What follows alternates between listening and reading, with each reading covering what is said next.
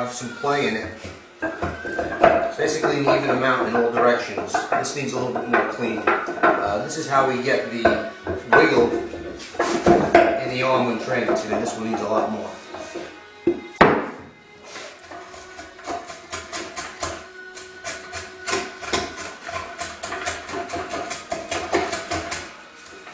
We at Warrior, we do a lot of custom engravings. Uh, we do multiple artwork pieces. We just did a uh, man cave dummy for the man cave show on DIY, which we did a big custom uh, engraved and painted dragon. Uh, this customer is getting one of the most common symbols that we put on the, the trunks, which is basically Wing Chun character. Uh, we're going to show you how we engrave, and then later on we're going to airbrush this in. Uh, so this customer had chose a Sedona red dummy and a black engraved and painted Wing Chun symbol.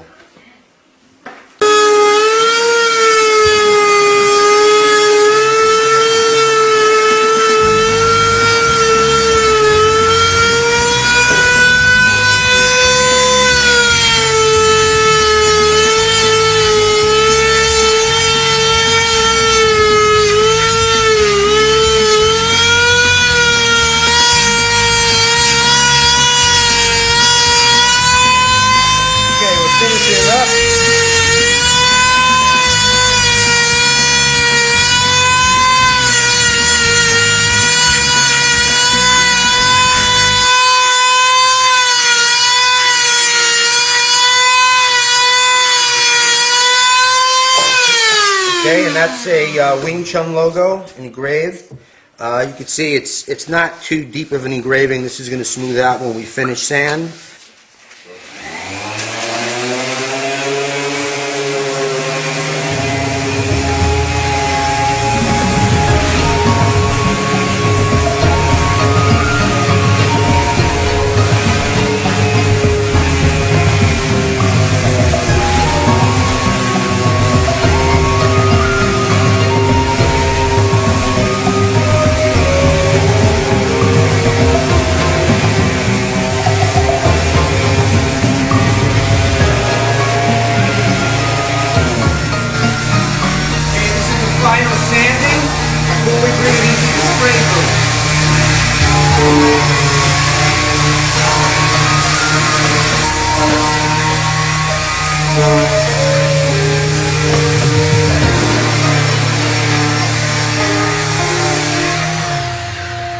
Okay, our dummy trunks are constructed of a patent pending nine board lamination process.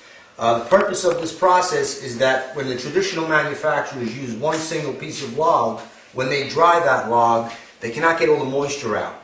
The moisture in the core of the dummy in the center is at a higher moisture rate than the outer layers of wood. So what we do in essence with our laminating process is we take that same log that the manufacturers use as is, we saw those logs at the mill into two inch thick boards and everything is dried in the kiln down to 6% moisture.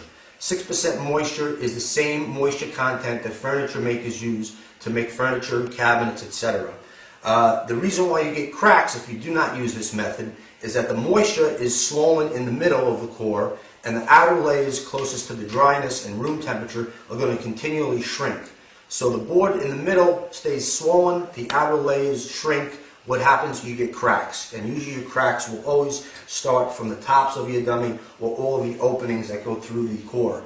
Uh, the reason for that is, again, you have more exposure to dryness, you have shrinking, and then something has to give, and it's going to give in these weak spots. We warranty our trunks for life. Against any any major cracking or splitting, we will send you a new trunk if that should happen. That's how confident we are in our method.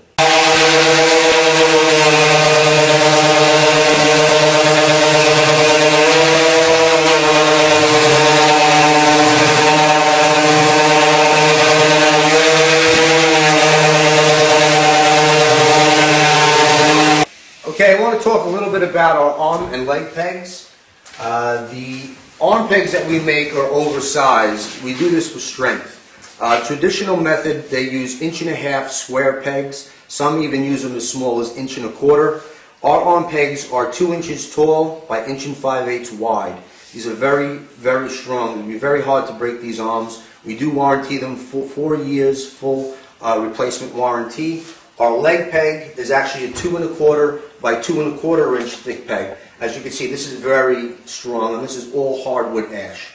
Hardwood ash is what they use to make baseball bats, axe handles, sledgehammer handles, due to its strength and its flexibility.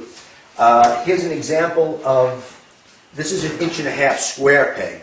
So as you can see, you have quite a bit more meat uh, on that peg. Uh, this is going to last you for life. To be honest, in eight years of making these, we haven't had anybody break one of our arm or leg pegs yet.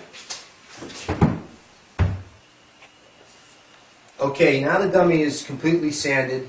Uh, we sand it down to 320 grit paper in the shop. Symbol is done. We're now in the spray booth.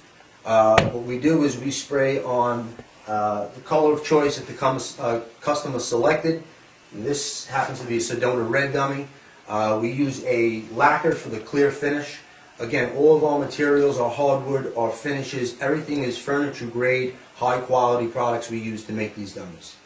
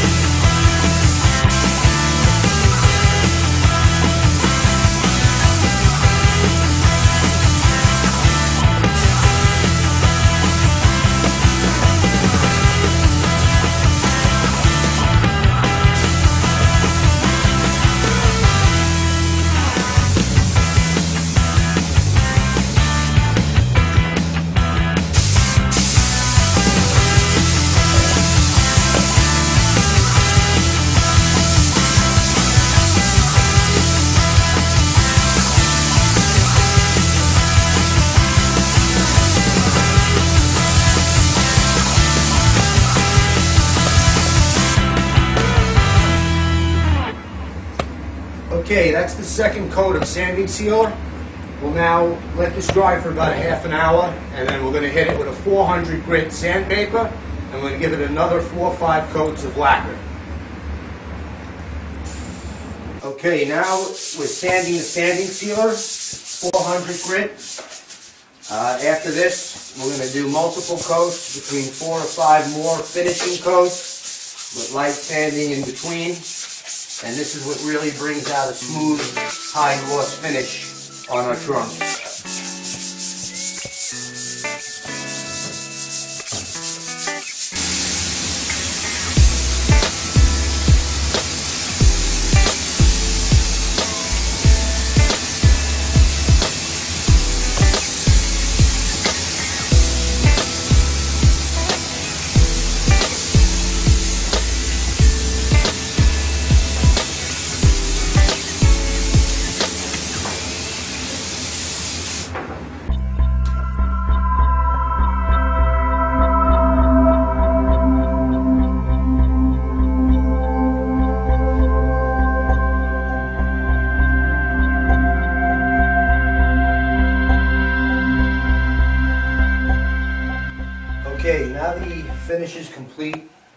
Six coats of uh, high gloss lacquer on the dummy.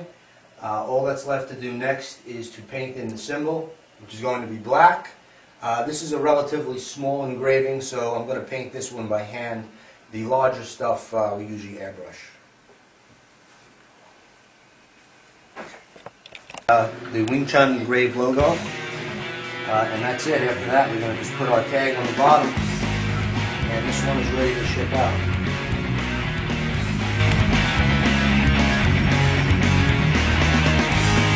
Okay, we're just finishing up the logo now. This one is almost